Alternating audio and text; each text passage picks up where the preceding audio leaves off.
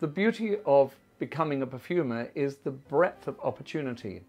There are so many different types of perfumer that work who specialize in different areas. And I think that the important thing with it is to understand the breadth of opportunity.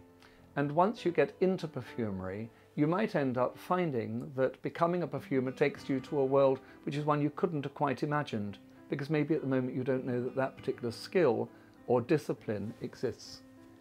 The thing I love about our industry most is how diverse it is, how inclusive it is, and how supportive it is.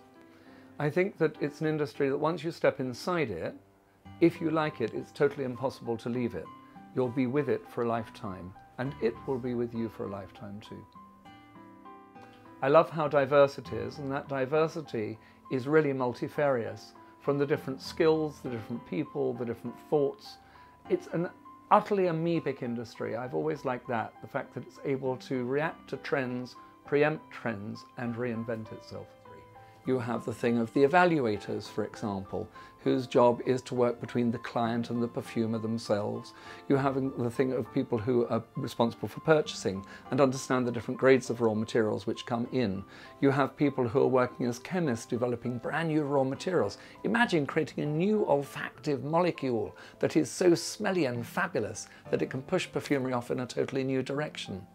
Imagine being the person who's responsible for doing that. I think it's totally wonderful. I think it's essential if somebody is joining the perfumery industry to really talk, read, look, and understand the breadth of this industry. I think too many people see it as something which is uh, small, the view is blinkered. The more you look, the more you read, the more you understand. The more you understand the diversity of it, the opportunities, and how supportive the industry is. But I think the other thing is how large the industry is. It is much bigger than the car industry, for example, in Britain, which very few people understand.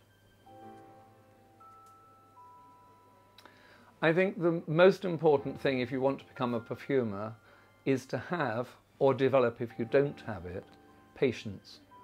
I think most people want to run very, very fast, and the reality is that you need to take time. So, the thing that I love about my work, I feel that I really have lived a very, very privileged life. I've ended up traveling most of the world. I've traveled for up to six months each year and I've met so many different people and understood so many different cultures and I think that's one of the things I love. I love the fact that no two days are the same and in the end I like the fact that what I create I make the tangible from the intangible and I just love that.